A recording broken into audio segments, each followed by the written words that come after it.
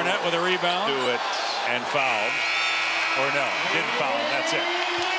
Well, it was not easy against a heavily undermanned Philadelphia team. The 76ers put up a great fight tonight, but Boston